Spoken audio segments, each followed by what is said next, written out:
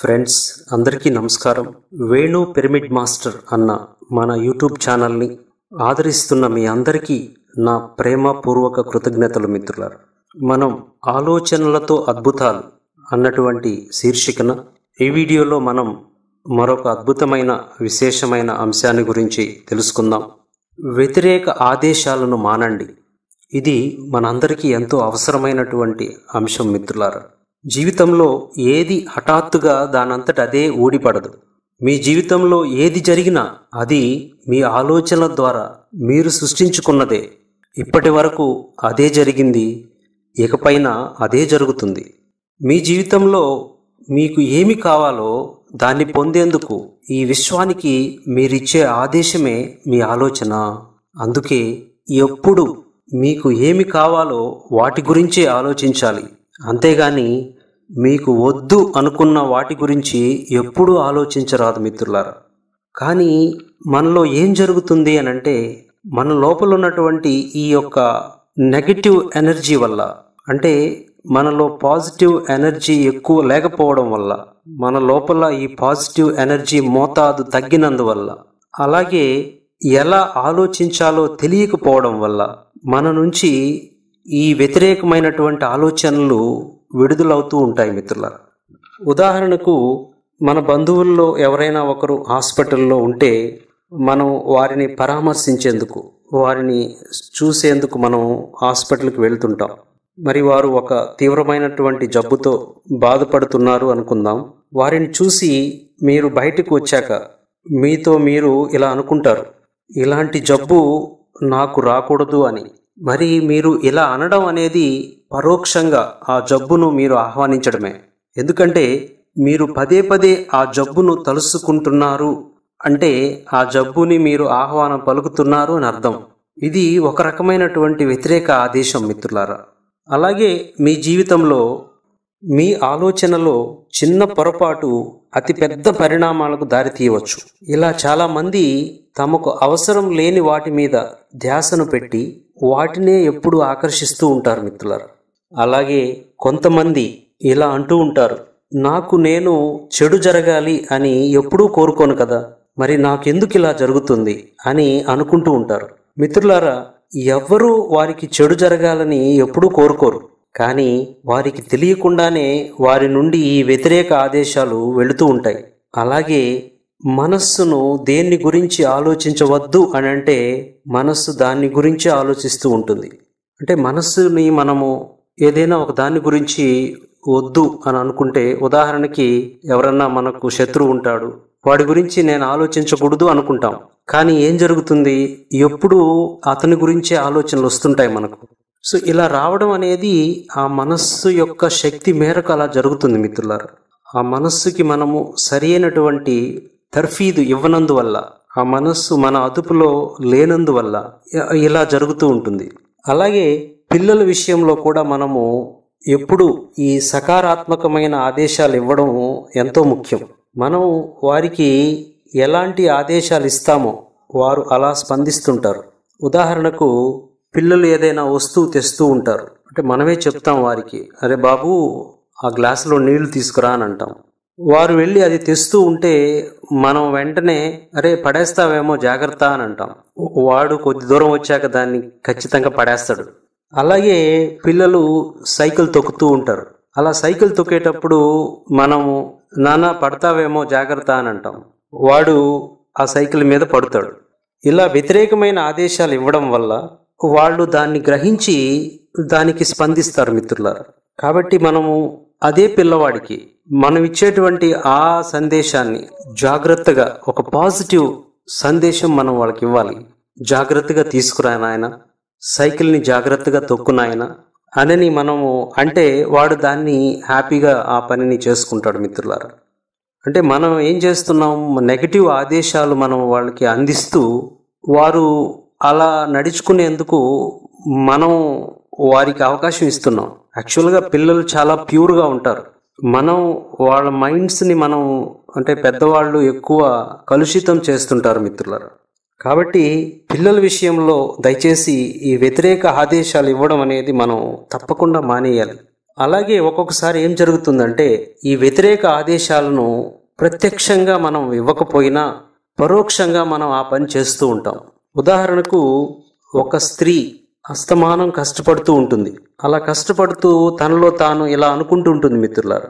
ఏమని? పెళ్ళి కాకముందు అమ్మా నాన్నలకు సేవ చేశాను. పెళ్ళైన తర్వాత భర్త పిల్లలతో కుటుంబం ఇలా నా జీవితం అంతా పని చేయడమే సరిపోతుంది. నాకు రెస్ట్ లేకుండా పోయింది. ఇలా ఎంతకాలం చేయాలి? సో ఇలాంటి ఆలోచనలు తనలో నుంచి వస్తూ ఉంటాయి. మరి ఒకరోజు ఏం చేస్తుందంటే ఇలా ఆలోచిస్తూ ఆ కూరగాయలు తరుగుతూ ఆ వేలుని కట్ చేసుకుంటుంది మిత్రులారా.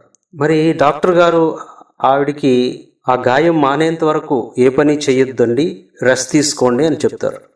అలాగే ఇంకొక ఉదాహరణ చూద్దాం.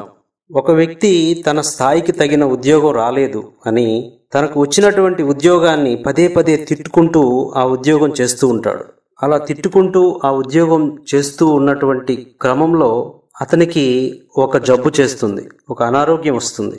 ఆ అనారోగ్యం వల్ల ఆ ఉద్యోగానికి తను పాలైనటువంటి పరిస్థితి తను లాంగ్ లీవ్ పెట్టేటువంటి పరిస్థితికి దారితీస్తుంది మరి ఆ ఆఫీసు వారు అతన్ని కొన్ని నెలల పాటు చూసి అతన్ని ఆ ఉద్యోగంలో నుంచి తీసివేస్తారు మిత్రులారు. మరి ఈ రెండు సన్నివేశాల్లో ఆమె తన వేలు తెగాలని అనుకోలేదు తను కోరుకోలేదు ఇతను తన జాబ్ పోవాలని కోరుకోలేదు. మరి వారికి ఎందుకు అలా జరిగింది? అంటే వారు పరోక్షంగా దాన్ని కోరుకున్నారు. అందుకే వారికి అలా జరిగింది మిత్రులారా. ఇది మనం గమనించాలి.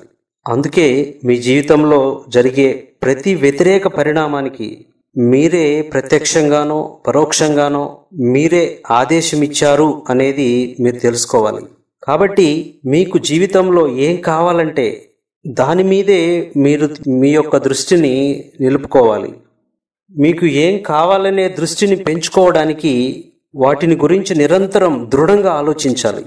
మీ జీవితంలోని సంతోషమంతా మీకు అందుబాటులోనే ఉంది. అది మీ ఆలోచనలోనే ఉంది అన్నటువంటి సత్యము ప్రతి ఒక్కరూ తెలుసుకోవాలి మిత్రులారా. ఎందుకంటే మీ జీవితంలో సమస్తాన్ని మీరు మీ ఆలోచనలతోనే సృష్టించుకుంటున్నారు. అందుకే ఆలోచనలు మారితే జీవితం మారుతుంది అన్నటువంటి సత్యము ప్రతి ఒక్కరూ తెలుసుకోవాలి. అలాగే ఇతరుల మాటల యొక్క ప్రభావాన్ని మీ మీద ఎప్పుడు పడనివ్వకూడదు మిత్రులారా. అంటే ఇతరులు మన పట్ల చేసేటువంటి ఆ యొక్క ఆలోచనల ప్రభావము మన మీద పడుతుంటుంది ఒక్కొక్కసారి. అంటే ఎప్పుడు పడుతుంది అని అంటే వాటిని మనం తీసుకున్నప్పుడు. ఇక్కడ ఒక చిన్న ఉదాహరణ మనం చెప్పుకోవచ్చు. ఒక తల్లి తన ఆఫీస్ నుంచి సాయంత్రం ఇంటికొచ్చి తలనొప్పితో అలా పడుకొని ఉంటుంది. అదే ఇంట్లో ఆ తల్లి యొక్క కూతురు తను సంగీత క్లాసుకు వెళుతూ ఆ సంగీతాన్ని ప్రాక్టీస్ చేసుకుంటుంటుంది. మరి ఆ రోజు ఆ తలనొప్పితో బాధపడుతున్నటువంటి ఆ తల్లి ఆ కూతురు ప్రాక్టీస్ చేస్తున్నటువంటి ఆ సంగీతాన్ని విని అప్పుడు తన కూతురితో ఎలా అంటుంది ఏ పాపిష్టిదాన నీ గొంతు కర్ణ కఠోరంగా ఉంది నేను వినలేకపోతున్నాను నీ సంగీతం ఆపు అనని ఆ పాపని అలా అంటుంది మిత్రులారు. అప్పుడు ఆ పాప దాన్ని రిసీవ్ చేసుకుంటుంది. తన తల్లి అలా అన్నందుకు ఆ పాప దాన్ని మనసులోకి తీసుకొని నా సంగీతము నా గొంతు సరిగా లేదు నేను దీనికి పనికిరాను అన్నటువంటి ఆలోచనల్ని తనలో నింపుకొని తన జీవితంలో సంగీతానికి దూరం అవుతుంది మిత్రులారా. అంటే ఇతరుల యొక్క ప్రభావం మన మీద ఎలా ఉంటుంది అన్న అన్న అనే దానికి ఇది ఒక మంచి ఎగ్జాంపుల్. అంటే వాళ్ళ యొక్క అభిప్రాయాలను మనం తీసుకున్నప్పుడు అవి మన జీవితంలో పనిచేయడం మొదలు పెడతాయి. అందుకే ఈ వ్యతిరేక సంభాషణల విషయంలో మీరు ఒక్కసారి చెవిటి వారైపోవాలి. అంటే వాటిని మీ చెవిలో వేసుకోకూడదు. అంటే మనలోకి ఎప్పుడు ఆ పాజిటివ్ వైబ్రేషన్స్ మాత్రమే రిసీవ్ చేసుకునే కెపాసిటీ ఆ శక్తి మనకు ఉండాలి. ఇది నీ వల్ల కాదు ఇది జరగదు ఇది చేయడం ఎంతో కష్టం. సో ఇలాంటి మాటలు మీరు అస్సలు వినిపించుకోవద్దు మిత్రులారా. ఎందుకంటే వాటి ప్రభావం మీ మీద పడనీయకూడదు. మానవుడికి సహజంగా ఉన్నటువంటి గుణం ఏంటంటే తన మీద తనకి నమ్మకం కంటే ఇతరులను ఎక్కువ నమ్ముతుంటాడు. ఇతరులు తన గురించి ఒక్క మాట అంటే ఓ అది నిజమేమో అనేటువంటి ఆలోచనకి వస్తాడు. కాబట్టి ఇతరులు మన పట్ల చేసేటువంటి ఈ వ్యతిరేక అభిప్రాయాలకి మనం ఎప్పుడు తావివ్వకూడదు. ఇవన్నీ కూడా మీ యొక్క ప్రగతికి ప్రతిబంధకాలు అవుతాయి మిమ్మల్ని ఉన్నత స్థితికి చేరనీయకుండా అడ్డుకుంటుంటాయి మిత్రుల అందుకే మీ జీవితానికి మీరే అడ్డుగోడ. ఇంకెవరో కాదు. మీ ఆలోచనలతో మీ జీవితం ఉన్నతంగా ఎదిగేందుకు మీరే ఆ అడ్డుకట్ట వేస్తుంటారు. ఒక్కొక్కసారి మనకు ఏదైనా సమస్య ఎదురైనప్పుడు మనలో వ్యతిరేక ఆలోచనలు కలిగి ఆ సమస్యను త్వరగా పరిష్కరించాలి అన్న ఆతృతతో మనం నిర్ణయాలు తీసుకుంటూ ఉంటాం. మరి మిత్రులారా ఎప్పుడు కూడా ఈ తొందరపాటు నిర్ణయాలు అన్నటివి ఖచ్చితంగా తగదు. అంటే ఆవేశంలో మనకు సరైన ఆలోచన రాదు. సరైన ఆలోచన రానప్పుడు సరైన నిర్ణయాన్ని మనం తీసుకోలేం. అందుకనే ఆవేశంలో ఎన్నడూ నిర్ణయం తీసుకోకూడదు. ఎప్పుడు కూడా ఈ తొందరపాటు అన్నది తగదు మిత్రులారు. అంతేకాక ఈ వ్యతిరేక భావంతో ఉన్నప్పుడు తీసుకునేటువంటి నిర్ణయాలు పరిస్థితిని ఇంకొంచెం ఘోరంగా తయారు చేస్తాయి. ఇది కూడా చాలా ఇంపార్టెంట్. అంటే ఏదన్నా ఒకటి మనకు వ్యతిరేకంగా ఒక సమస్య వచ్చినప్పుడు మనము ఒక ప్రశాంత స్థితిలో కూర్చొని దాని గురించి ఆలోచించి ఒక నిర్ణయానికి రావాలి. ఇది సరి అయిన పద్ధతి. కానీ మనం ఏం చేస్తుంటాము? ఆ ఘర్షణలో ఆ ఆవేశంలో ఆ ఆతృతలో మనము ఒక నిర్ణయం తీసుకున్నప్పుడు అది ఆ పరిస్థితిని మరింత జటిలం చేస్తుందే తప్ప ఆ పరిస్థితికి పరిష్కారం మనకు లభించదు మిత్రులారా. కాబట్టి మనము ఎప్పుడు కూడా సరే మన జీవితంలో మనము ఇతరులకి ఈ వ్యతిరేక ఆదేశాలన్నటివి ఖచ్చితంగా ఎప్పుడూ ఇవ్వరాదు. అలాగే ఈ వ్యతిరేక ఆదేశాలన్నటివి మన జీవితంలో కూడా ఎప్పుడూ ఇతరుల నుండి తీసుకోరాదు. మనము ఇతరులకి ఇవ్వరాదు ఇతరుల నుండి తీసుకోరాదు. మనం ఎప్పుడు కూడా మనకి ఏం కావాలో దాని మీద దృష్టి పెట్టాలి దాని గురించి ఆలోచించాలి దానిని సాధించాలి. అంతేగాని ఇతరులు మన గురించి అన్నటువంటి ఆ యొక్క వ్యతిరేక ఆదేశాలను మనం తీసుకొని మన జీవితాన్ని మనం అధోగతి చేసుకోకూడదు మిత్రులారు. కాబట్టి మన జీవితం ఉన్నతంగా జీవించేందుకు మన ఆలోచనలు మనకు ఉపయోగపడాలి. మనతో పాటు మన చుట్టూ ఉన్నవారు ఆనందంగా ఉండేందుకు మాత్రమే మన ఆలోచనలు మనకు ఉపయోగపడాలి. దీనికి చక్కగా మనం ఈ ధ్యానాన్ని మన జీవితంలో ప్రవేశపెట్టుకుంటే మన ఆలోచనలో మార్పు వస్తుంది. అంటే మన మనస్సులో మార్పు వస్తుంది ముందుగా. మన మనస్సులో మార్పు వస్తుంది.